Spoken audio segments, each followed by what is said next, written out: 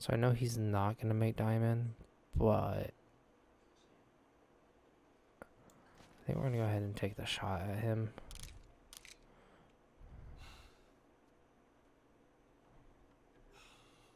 That should be a decent shot.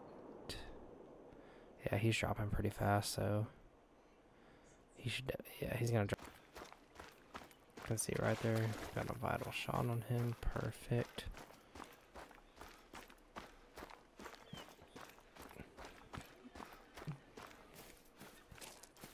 Six five is very accurate, so that's nice. So he's gonna be 122. He was only one point higher.